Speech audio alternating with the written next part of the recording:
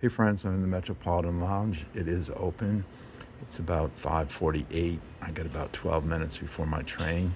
I'm just going to have a quick uh, breakfast sandwich and a little bit of water, and then uh, we'll head down to my train, which is uh, going to be on track number 14. Alrighty, friends. Thanks for watching. Take care. Bye.